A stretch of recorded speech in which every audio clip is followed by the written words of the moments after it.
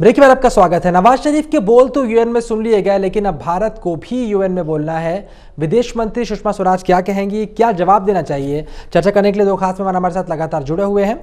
एक बार रुक करते हैं हम, एक बार फिर से प्रदीप जोशी जी का। प्रदीप जी, अब हिंदुस्तान की बारी है। अब विदेश मंत्री सुषमा स्वराज बोलेंगी।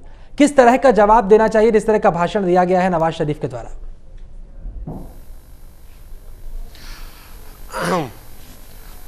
मैं सबसे पहले हेलो जी बिल्कुल।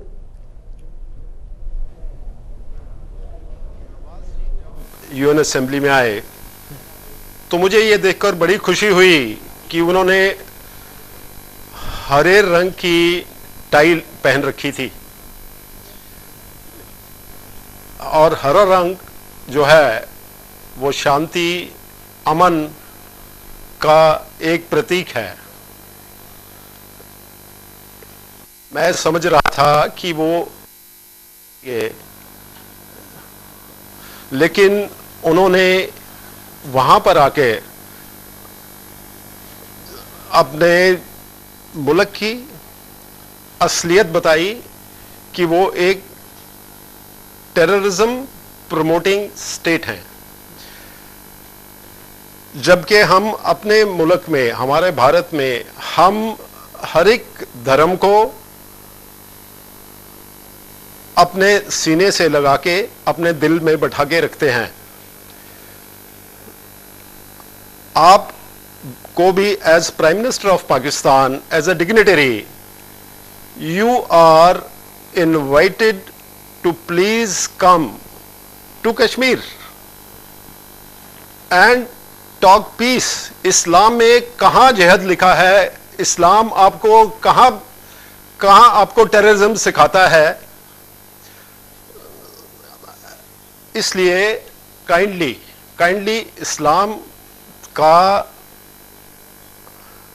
को पूरा पूरा आदर करिए और टेररिज्म को छोड़कर अमन की ओर आने की कोशिश करिए। इससे बढ़िया कुछ भी नहीं हो सकता। और एक दूसरा मुद्दा है, आप बात करते हैं हर एक चीज़ को यूएन में जाना चाहिए यूएन में जाना चाहिए। Except except for the Indus water treaty 1960 UN UN में कोई भी और मुद्दा नहीं है। सिर्फ़ आप अगर कश्मीर की बात करते हैं, जो कि हमारा इंटेग्रल पार्ट है आप आइए you are invited come will sit down and talk ज़ाहिर सी बात है बार बार शांति की बात की जाती है, शांति की उम्मीद भी पाकिस्तान से की जाती है, लेकिन बार बार उम्मीदों पर खरा नहीं उतरता पाकिस्तान। उसका रंग जो है, वो बार बार वही रंग दिखाता है और जिस तरह से बार बार प्रफुल्ल बख्शी साहब ने भी कहा कि पाकिस्तान को उसी की भाषा में जवाब देना चाहिए। बख्शी साहब, मैं ये सवाल आपसे भी करूँगा कि अब भारत की बारी है, यूएन में विदेश मंत्री सुषमा स्वराज बोलेंगी, किस तरह का उनका भाषण होना चाहिए, किस तरह की भाषा का प्रयोग करना चाहिए, क्या पाकिस्तान को सख्त लहजे में चेतावनी देनी चाहिए विदेश मंत्री को? देखिए, सख्त लहजे में चेतावनी तो देनी ही चाहिए, उस पर दो राय नहीं है।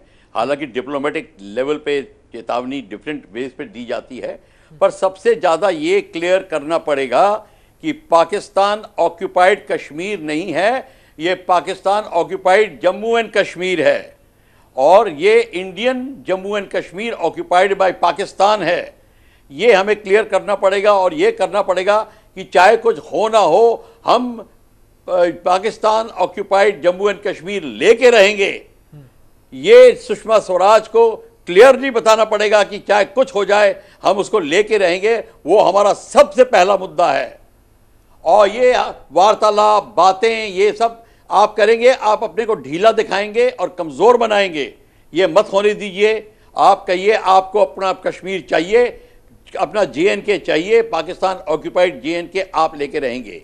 सबसे पहले ये बात और दूसरी बात ये कि बिल्कुल क्लियर कर दें कि अगर पाकिस्तान ने अटैक और वायलेंस से, काम लिया इन्फिल्ट्रेशन टेरर तो उसका सबसे उचित जवाब मिलिटरीली दिया जाएगा। मिलिटरीली ही दिया जाएगा। हालाँकि हमारी जो टाइम और टाइम ऑफ़ एक्टिविटी और प्लेस ऑफ़ एक्टिविटी हमारी चूजिंग में होगी वो एक वो दूसरी बात है। पर हम उसको ज़रूर करेंगे और ये उनको पाकिस्तान को पता होना चाहिए। बिल्कुल, ज़ाहिर सी बात है यहाँ पर जिस तरह से पाकिस्तान भारत के साथ हरकतें करता रहता है, पाकिस्तान को अगर उसकी भाषा में जवाब नहीं दिया जाएगा तो शायद पाकिस्तान सुधरने वाला नहीं है और भारत को इस तरह के हमले झेलने पड़ेंगे, भारत के जवानों को शहादत झेलनी पड़ेगी और देश ऐसे ही तकलीफ़ में रहेगा, कसमसाता रहेगा, लेकिन पाकिस्तान यहाँ पर सुधरता दिखाई नहीं पड़ेगा। इस पूरी चर्चा का समापन हम यहीं पर करते हैं। प्रदीप जी आपका और प्रफुल बख्शी जी आपका इस पूरी चर्चा में जोड़ने के लिए बहुत बहुत शुक्रिया। तो यहाँ पर अब मौका आ चुका है कि पाकिस्तान को उसी की भाषा में जवाब दिया जाए, क्योंकि पाकिस्तान कुछ भी समझने को तैयार नहीं।